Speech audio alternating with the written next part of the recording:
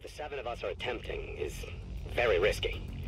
I suspect they are not the only ones watching, but it must be done or we lose the bridge forever.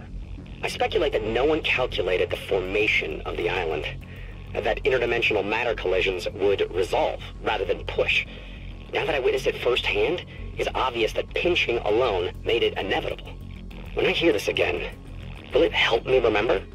Or once looped, will I be just as muted as the others? No matter. It seems the lengthy precautions worked.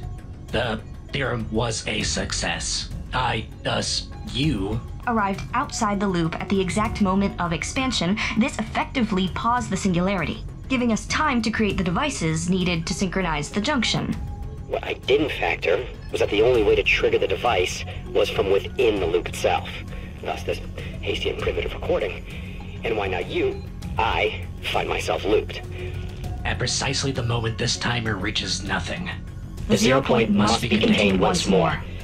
If they are correct, it will be the end.